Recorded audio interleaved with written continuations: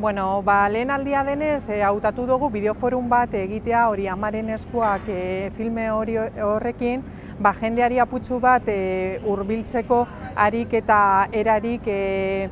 egonkorrean edo ba, bueno, erraza izan daiten, jentea urbiltzeko eta hortik hasi eta purka-purka aurrora pausoak emoteko berdintasun gaietan.